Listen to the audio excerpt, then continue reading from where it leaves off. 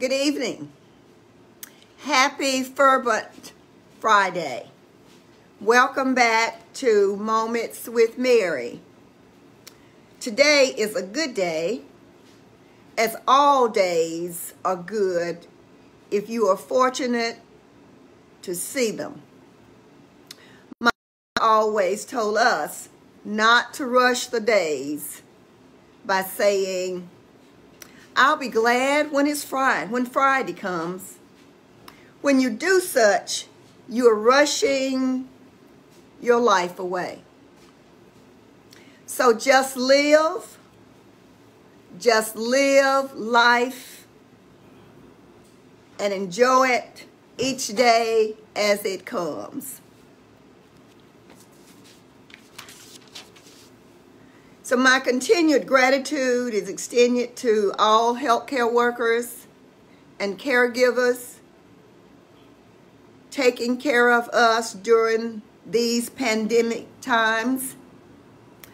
However, we must be cautious, very cautious, and take care of ourselves. And as we are being cautious, taking care of ourselves, we will help to take care of others.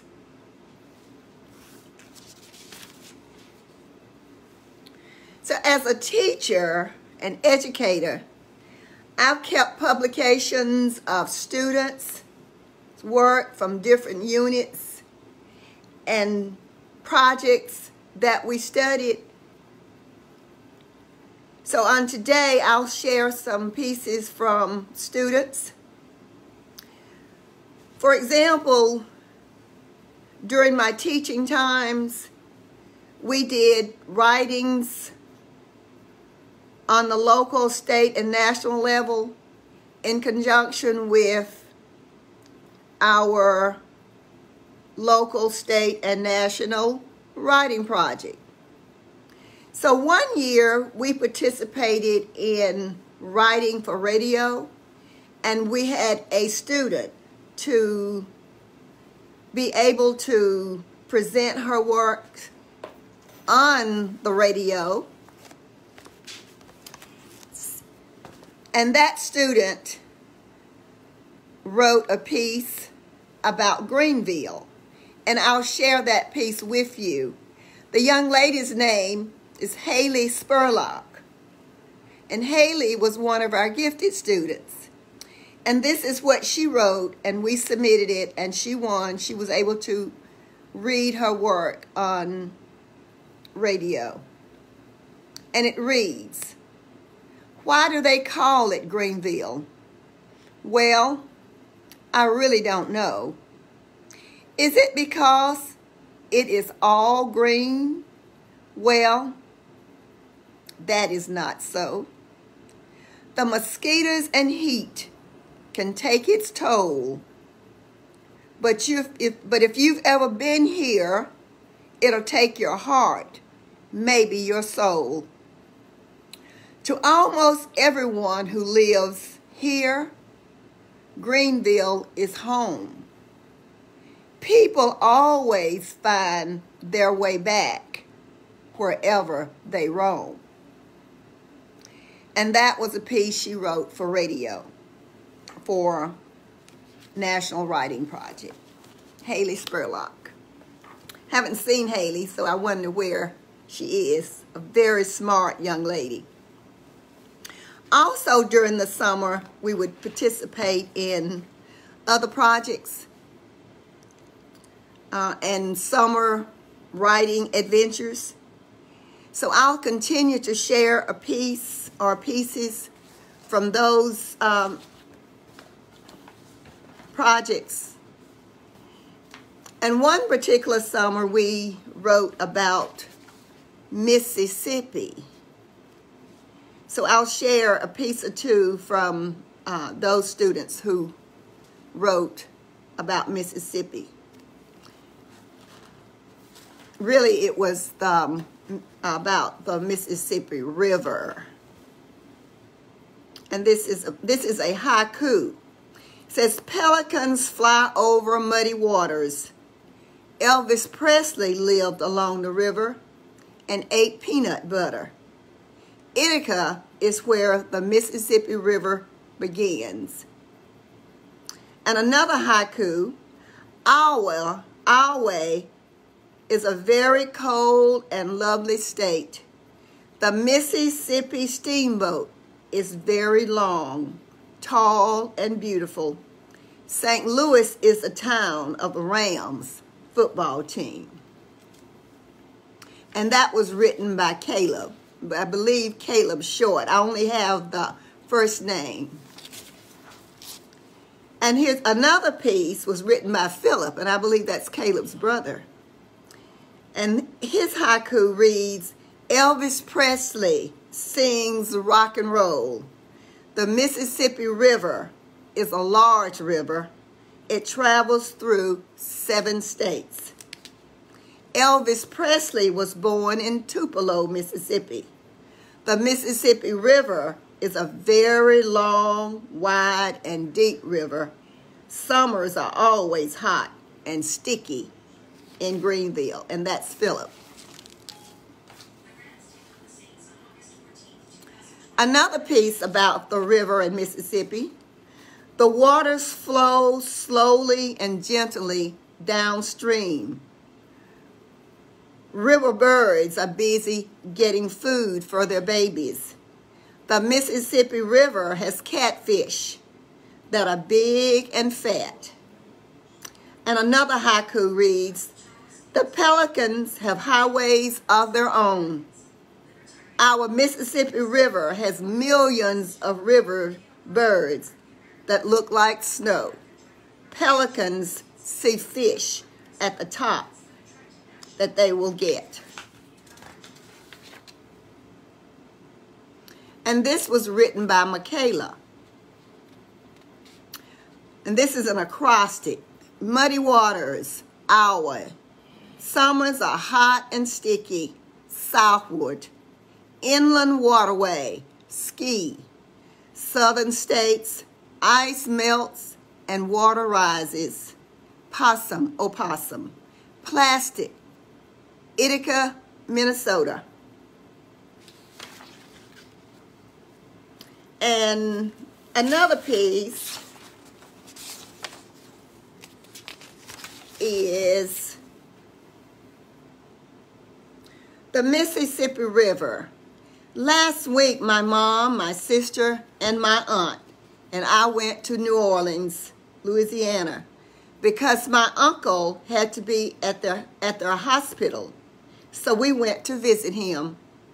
We saw the Mississippi River and the Gulf of Mexico. We were on the bridge and it was so long. A giant could fit. My uncle told everyone that the ambulance kept on bumping because his feet easily hurt. So my aunt stayed with him. And another piece about the Mississippi River, a river that extends from north to south, a river that provides transportation, food, and fun, a river of fish and silt, a river with barges and towboats, a river that travels through 10 states, a river that runs 2,325 miles. It has many, many more offerings unknown to man. And another summer, we did a unit on Ships Ahoy. And we also wrote haikus, acrostics, and diamantes. And this one reads, and it was written by Kiara. Cairo, big, beautiful, exploding, caring, sinking, warboat, and civil war, strong, firing, and shooting, a wooden structure, boat. It's another piece written by Kiara it says, Kia, it's about Kiara. And she says, nice, smart, caring, loving, smiling, pretty, crazy, and cool. helping, funny, and silly, sometimes quiet, someone. And that's a diamante. And another piece was written by Roosevelt. And it says, Cairo, old wooden, still floats and moves. Long, old gunboat, black and slow, a boat. And those are pieces written by students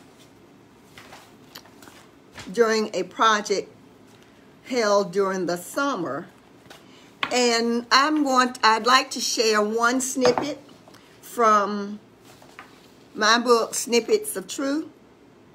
And it's Thoughts of Remembrance. Cannot remember your husband's name, where you parked the car, where you wanted to get, what you wanted to get when you walked into the kitchen? Relax. Scientists say such memory lapses are natural, especially as you get older. Adults remember little, if anything, that happened to them before the age of five. When we reach our 30s, we typically begin to experience a drop in memory. I'm neither 5 nor 30, and my memory is somewhat intact. With the help of someone close to me, we put together a few remember when anecdotes for my mom and dad for their 50th wedding anniversary. Now, in this piece, the names have been changed to protect the innocent. And it reads, Remember that prank on our parents of a friendly abduction of Louise when she was taken to Uncle Hubbard's house in a burlap sack? How surprised Uncle Hubbard's family was when she stepped out of the sack and said hi. Remember when Carol followed Aunt Caroline home? That was a long walk. How did she go unnoticed? Remember when Pauline accidentally squeezed the baby chicks so tight that she destroyed them? She thought she was pampering rather than. Remember when Tom fed something to the cats? They were afraid to come near the house. Remember when we were working in the field and Tom and Jerry were told to stop counting the birds, daydreaming, and would not and, and could not keep up with the crew? Remember when Janie, the renowned seamstress, learned how to sew like Mama? We all wanted her to make us a dress. I, I finally learned to sew when Mama would not sew for me. And remember when Earl drew football plays everywhere? He was only preparing for what he enjoys most, coaching football. He has made a productive career with that special ball Remember when James would spend hours on the piano, playing, trying to learn a tune, preparing for his next in-house concert featuring the rare talent of his younger sister? He would occasionally invite a couple of friends or relatives to jam with him. We will never forget that original tune called Shake It co-written and produced by Josh and James, but never recorded. Mama and Daddy, What's the noise? Lastly, remember when the baby began to collect the beautiful semi-formal and formal dresses? That was how the many beauty and family. That was how the many beauty pageants our family hosted began. Those were the good old days and the beginning of another story. So the names in that story were um, not the actual stories, names. They were taken out to protect the innocent.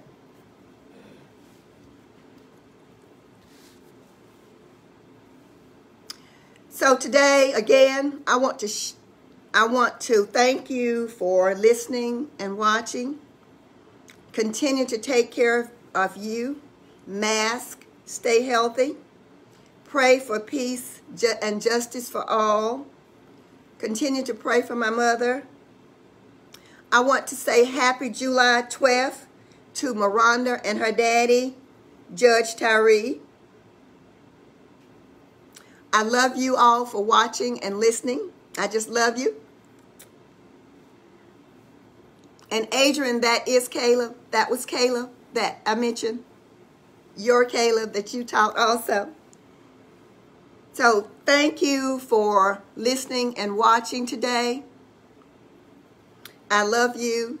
And hopefully I will see you on Monday. Have a happy weekend. And goodbye.